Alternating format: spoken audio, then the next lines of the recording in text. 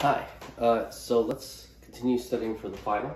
So there is a review problems for final uh, sheets. There are review pro problems for final sheets that I put on Blackboard. So, um, so refer to those now for this video.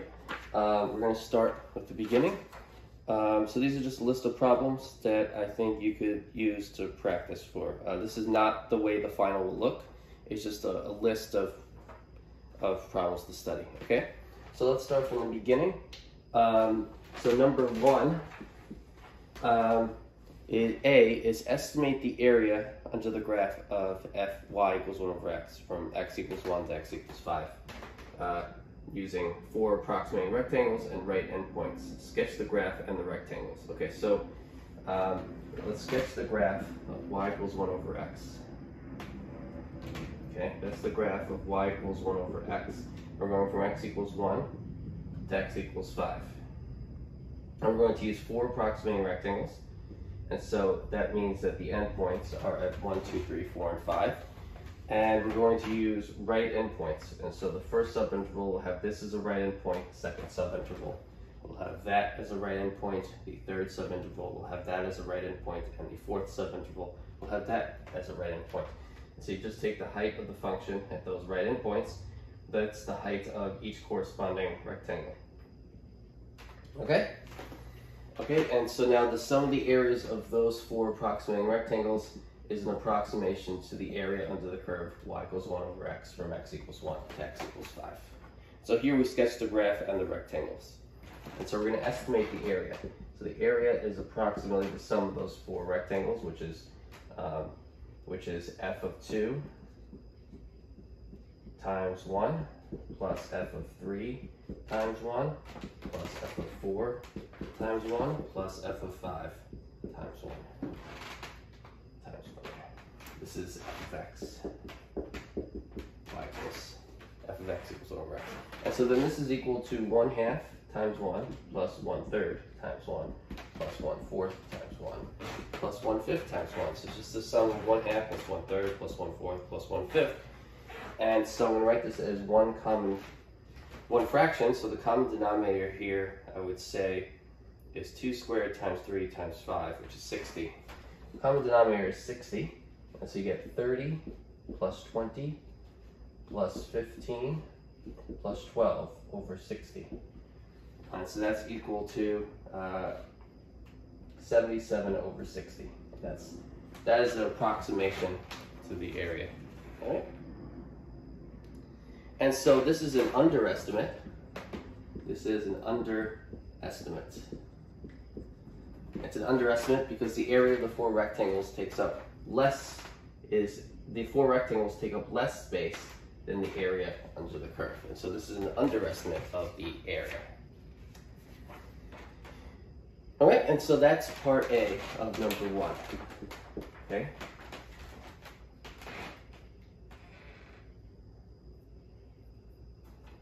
All right, good. So hopefully that makes sense. Uh, let's do part B.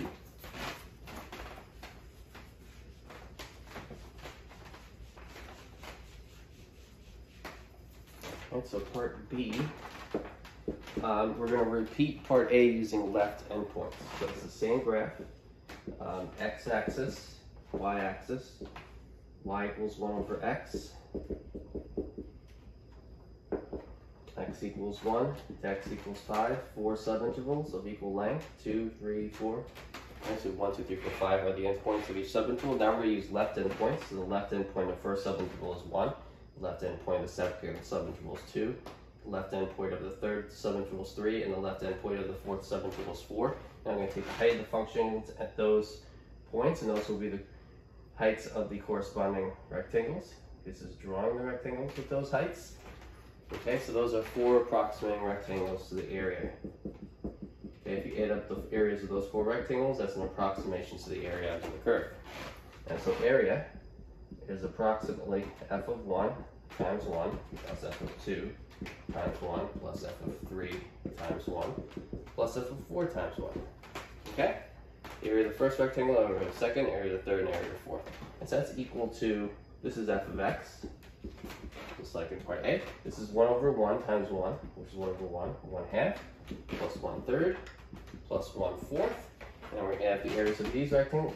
The, the least common denominator is 12. So 12, so you have 12 plus 6 plus 4 plus 3 over 12. And so you get 25 over 12. Okay, that's 18, 22, 25 over 12. And so 25 over 12 is an approximation of that area. This is an overestimate. This is an overestimate. Because the the four rect the four approximate rectangles take up more space than the area under the curve. See, right? This is the this is the curve. What's underneath is the area under the curve. The rectangles take up all that space, and they take up extra space. They take up this extra space, this extra extra space, that extra space. And I'm gonna highlight in there, and this extra space. Okay, so this is an overestimate of that area. So that's one B.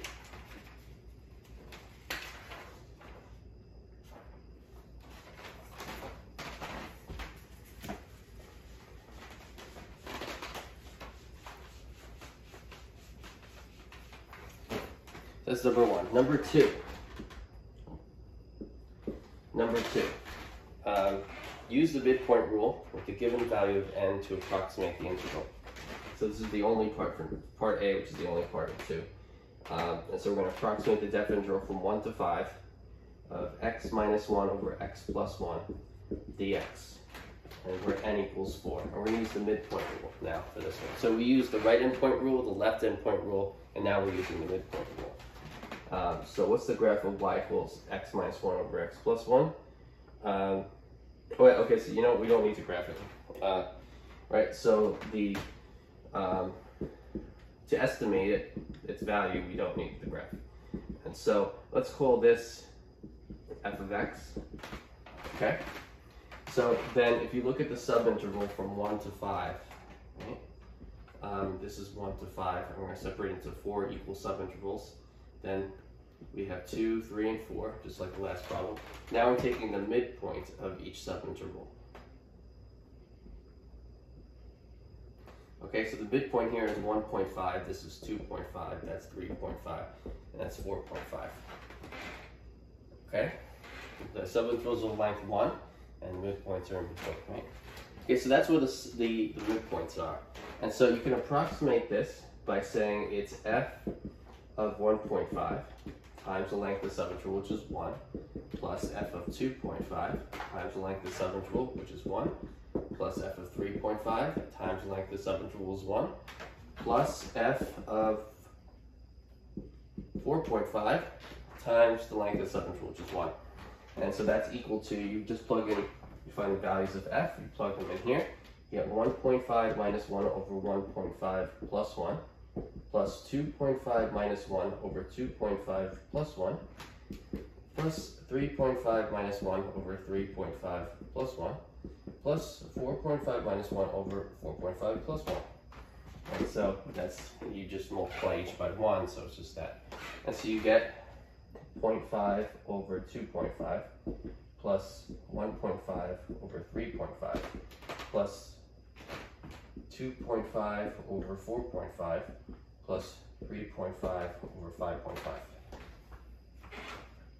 Okay. This is 1 half over 5 halves. So you get 1 fifth there. This is um, 3 halves over 7 halves, so you get 3 sevenths. This is 5 halves over 9 halves, so you get 5 ninths. And this is um, 7 halves over 11 halves, so you get 7 elevenths.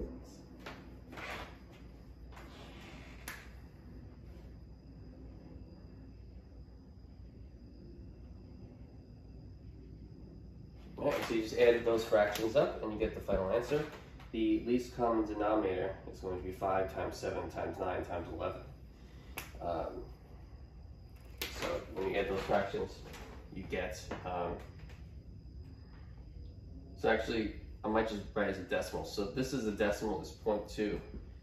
Point, one fifth as a decimal is 0.2. Three sevenths as a decimal is about 0.42. Uh, 0.43 rounded to the nearest hundredth. Um, 5 ninths is 0.55, 0.56 rounded to the nearest hundredth, and 7 elevenths is um, 0.63, 0.64 rounded to the nearest hundredth. Okay, so that's just, I'm just adding up them as decimals. And so now this is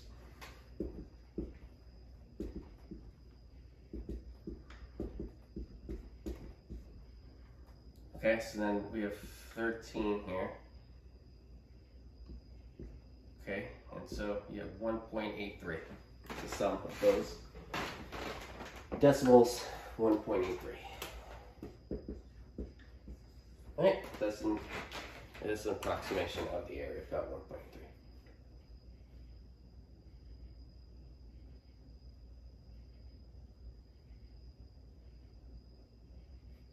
All right. All right, so that's two. That's number two. So that's a good overview of approximating using left end points, right end points, and midpoints.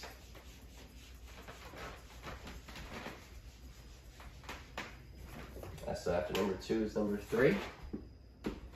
So for number three, use part one of the fundamental theorem of calculus to find the derivative of the function. So for 3a, the function is g of x is equal to the definite integral from 1 to x of 2 plus t to the fourth raised to the fifth power dt. And so the derivative g prime of x according to fundamental theorem of calculus is just plug in x here. You get 2 plus x to the fourth raised to the fifth power. That's it. Alright? That's because it's from a constant to x. For part b, same question. Now we have a function capital F of x which is equal to the differential from x to 2 of cosine of t squared dt. And so let's look at the sum difference in this problem. Uh, here, there's a constant in the lower limit of the differential and an x in the upper limit. Here, the x is in the lower limit and the constant is in the upper limit. So we need to fix that. We need to reverse this so that the constant is in the lower limit and the x is in the upper limit. So just negate it. The negative, that's equal to negative of the integral from 2 to x of cosine of t squared dt. Now we can apply the fundamental theorem calculus to this definite integral and then take the negative of it, and that's our answer.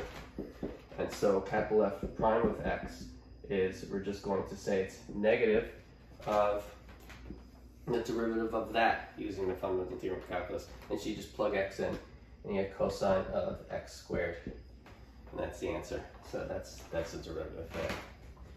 And so that's 3b. Well, so that's 3A and 3B.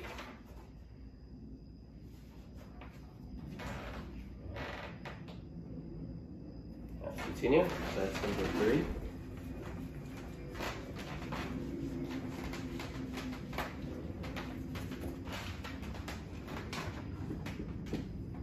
Okay, so number four, evaluate the indefinite integral or definite integral.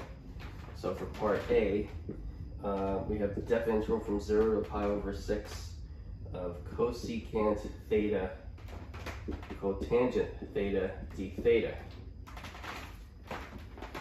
Okay, so let's use, we're going to use the fact that um, the using the variable x here, but we can apply it to any letter right there. It's theta. So d dx of cotangent x is equal to negative cosecant squared x, and so you're going to use that fact uh, to find this integral, right? So we're going to use u substitution. We're going to let u be cotangent theta. Then du will be negative cosecant squared theta, d theta. So I'm going to let u equal cotangent theta. Then du is negative cosecant squared theta, d theta.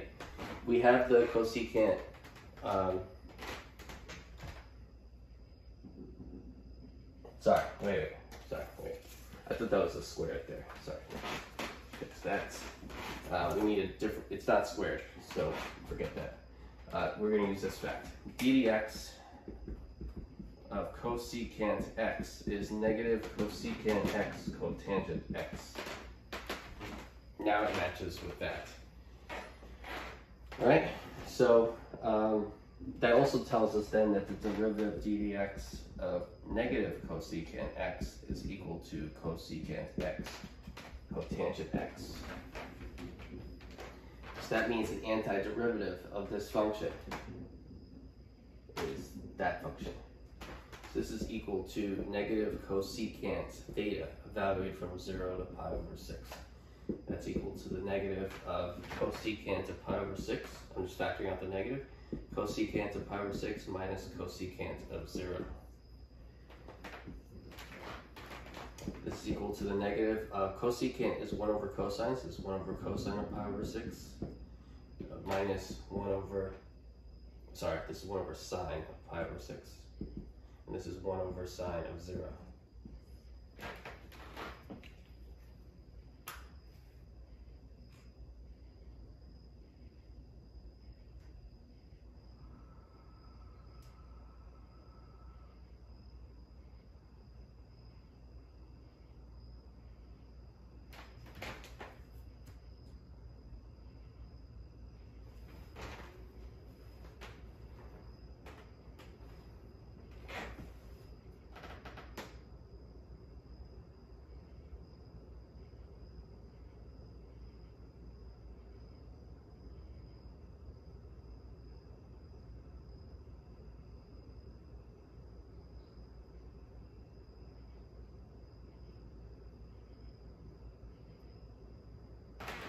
Okay, so then this is then um, cosecant is 1 over sine.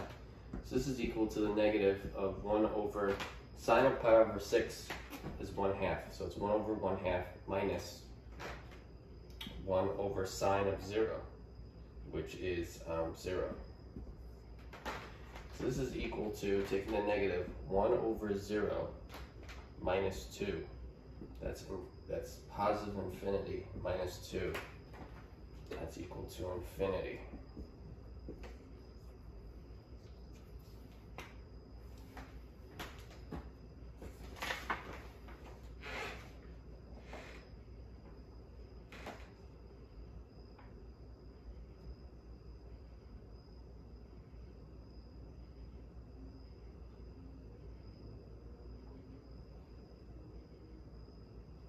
All right, so, okay, so it's just plus infinity.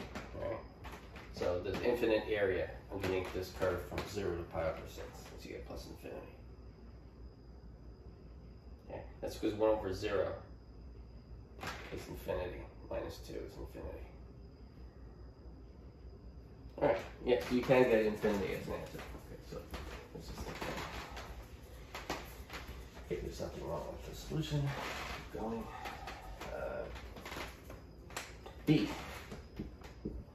uh, definite interval from 1 to 2 of 3 over t to the fourth dt. So that's equal to the definite interval from 1 to 2 of 3t to negative 4 dt. That's equal to 3 times the antiderivative, which is t to the negative 3 over negative 3, evaluate from 1 to 2. Just add 1 to the exponent and make that, and then divide by the new exponent, 3 times that. And evaluate from the lower limit to the upper limit of the definite integral.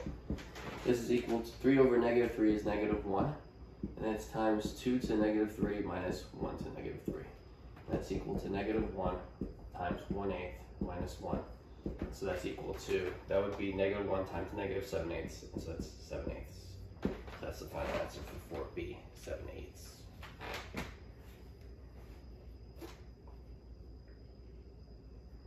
And so this is just applying the um, evaluation theorem here to calculate definite integral.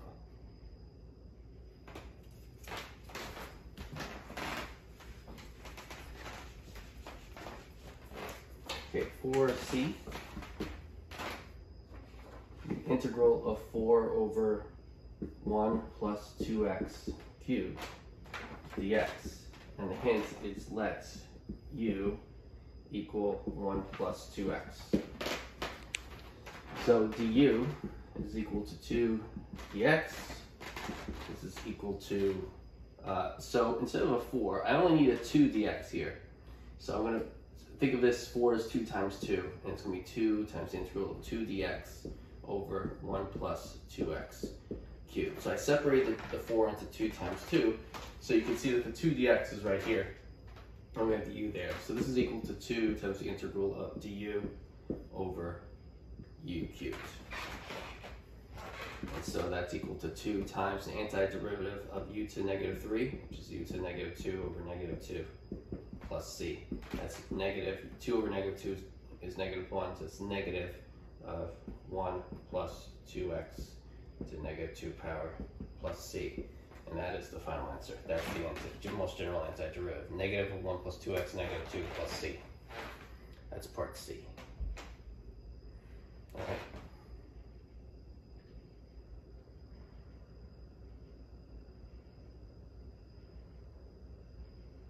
All right. So that's part C.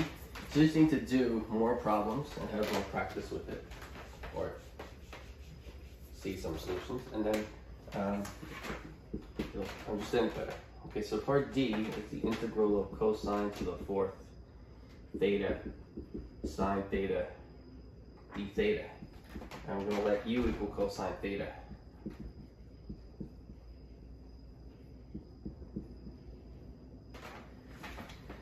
Okay, so u is cosine theta, so du is negative sine theta d theta. You need to know derivatives of trig functions.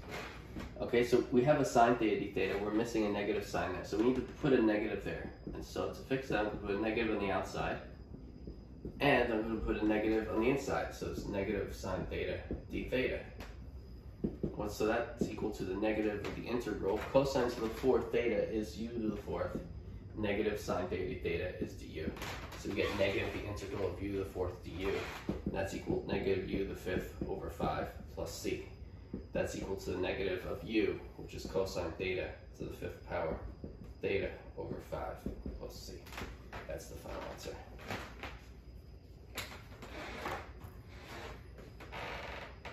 So that's for D.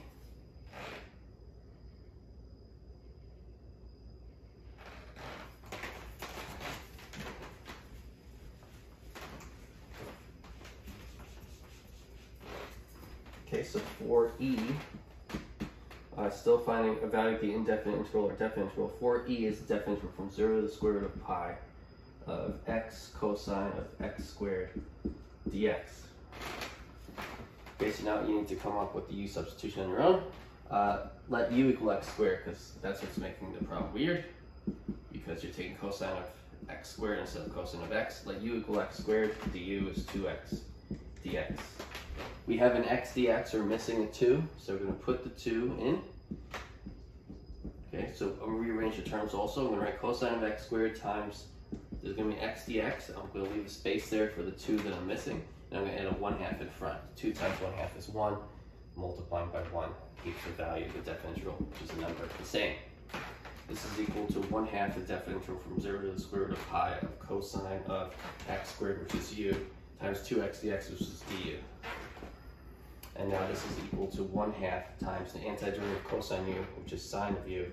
Evaluate for the lower limit 0 to the upper limit of the square root of pi. And so this is equal to 1 half times sine of the square root of pi uh, minus sine of 0.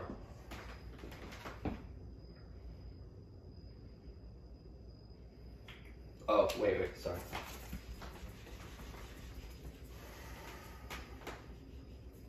I did use I did use substitution here, so you have to change these x values to corresponding u values here, right? So when x is zero, u is zero. When x is the square root of pi, the square root of pi squared is u is pi. Okay, so we get simple numbers here. You don't have to, but we do. This is one half sine of u, evaluate from zero to pi. Okay, this would be one half times sine pi minus sine 0. Sine of pi is 0, sine of 0 is 0. So this is 1 half times 0 minus 0. That's 0. So the answer is 0.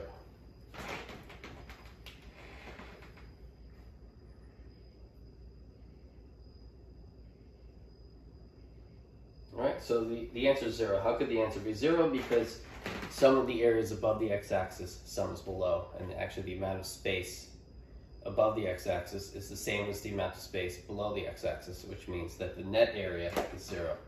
So you can get a differential with zero area, whose values are not zero, right, most of the time. Okay.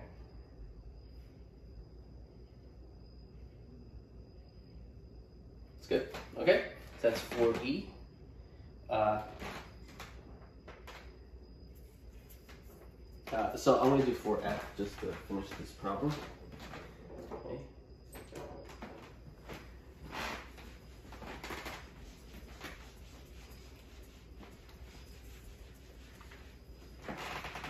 Okay, so these are just practice problems. The final will not be structured like this. Okay, 4f is find the integral of secant squared x e to the tan x dx.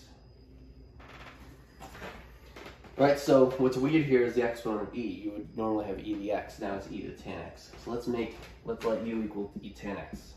Let u equal tan x. Then du is the derivative of tan x, which is secant squared x dx. So we have the secant squared x dx, which so we'll make that du. So this is the integral of e to the tan x, which is u, e to u, times secant squared x dx, which is du. So integral of e to the u du. That's e to the u plus c. Now we substitute for u. This is e to the tan x plus c. That's the final answer. Right? And so that's for f. So I hope this helped you for the final. Um, and so we'll be studying some more for the final. And uh, this is a good start. Okay, bye.